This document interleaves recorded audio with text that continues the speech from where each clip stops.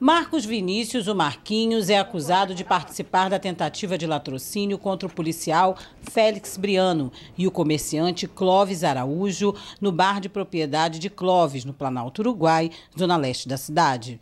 Marquinhos foi preso nas proximidades do bairro Santa Teresa. Ele é o quinto e último acusado preso durante os 20 dias de investigações sobre o caso. O arrastão ocorreu no último dia 7 de janeiro, quando o policial civil foi atingido no peito e Clóvis baleado nas costas.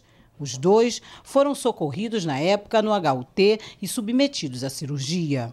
Das seis, cinco já se encontram presos, quatro no dia da ocorrência do fato e uma na tarde de ontem.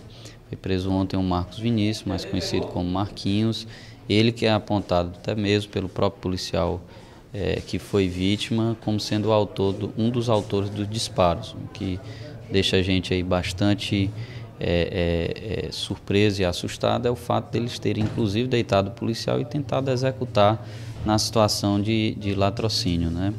Então assim a polícia deu a resposta, procuramos empreender o máximo de esforço possível e há todas as provas suficientes para que o Ministério Público possa promover a ação penal em sua plenitude.